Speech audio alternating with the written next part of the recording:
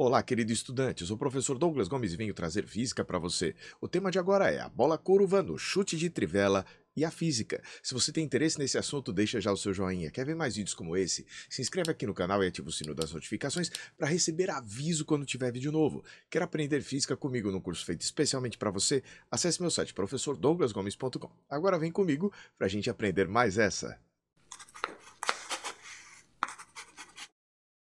Um dos gols mais incríveis da história de futebol foi aquele que veio de uma falta cobrada pelo jogador Roberto Carlos. Ele chutou a bola com efeito, a bola girando e ela conseguiu fazer uma curva.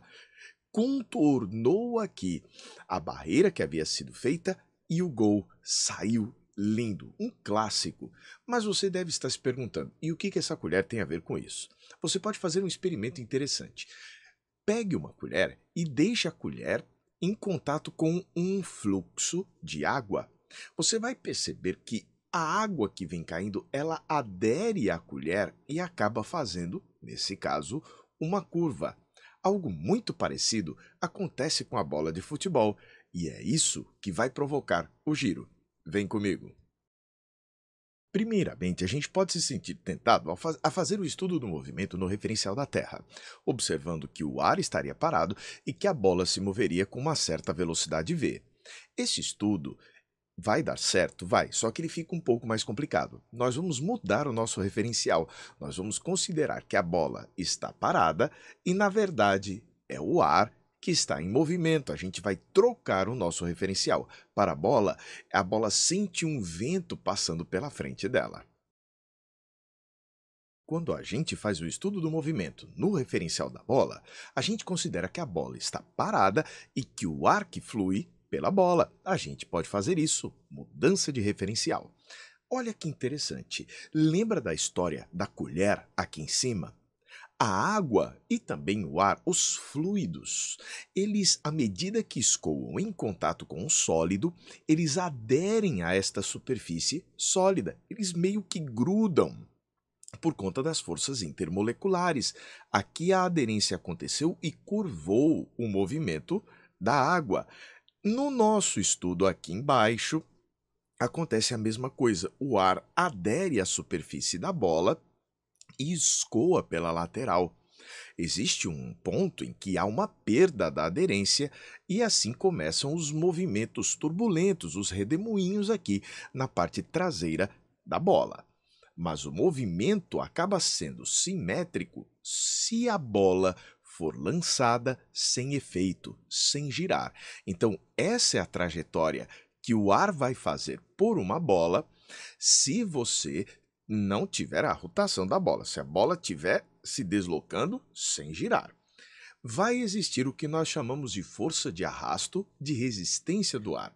A gente sabe que essa bendita dessa bola vai sofrer a ação de uma força nesta direção e neste sentido.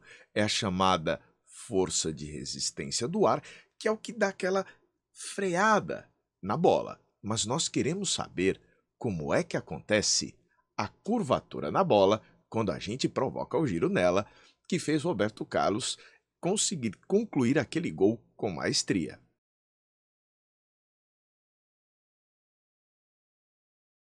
Agora observe o que acontece quando a bola é jogada com efeito. Se a gente colocar a bola girando aqui, por exemplo, no sentido horário, a aderência vai acontecer mais cedo desse lado. Por quê? Na hora que você analisa o movimento do ar, a bola está num sentido aqui e o ar está com outro. Por conta desse sentido contrário, você vai ter a perda de aderência acontecendo mais cedo.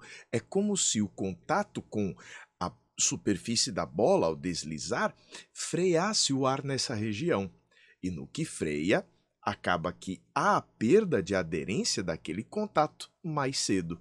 Já do outro lado, em que a bola está se movimentando no mesmo sentido da corrente de ar, você vai ter a perda de aderência acontecendo mais tarde, em um ponto mais para depois.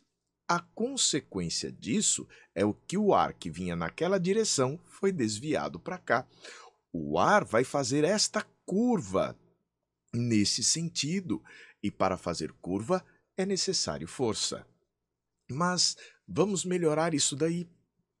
Se o ar é empurrado num sentido, pelo princípio da ação e reação, a bola é empurrada no sentido contrário.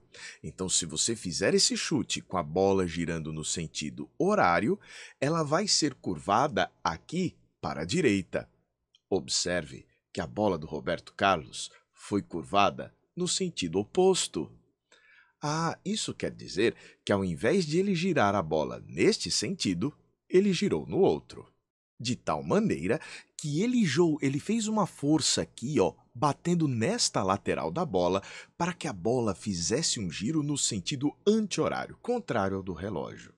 Dessa maneira, à medida que a bola vem se movimentando nesta posição, vamos desenhar a nossa bola, vou fazer a bola um pouco gigantesca, certo?